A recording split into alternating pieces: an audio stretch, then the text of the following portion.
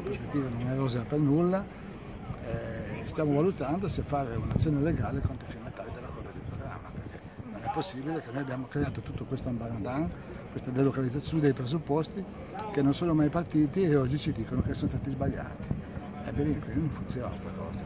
Quindi adesso valutiamo se è il caso di fare azione legale al governo, all'azienda, a tutti quelli che l'accordo.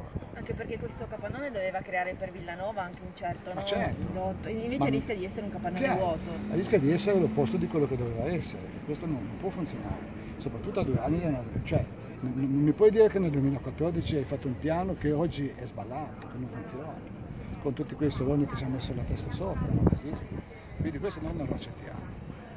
Non accettiamo, i sindaci sono tutti d'accordo, facciamo un incontro velocemente, vediamo di valutare di fare un'azione.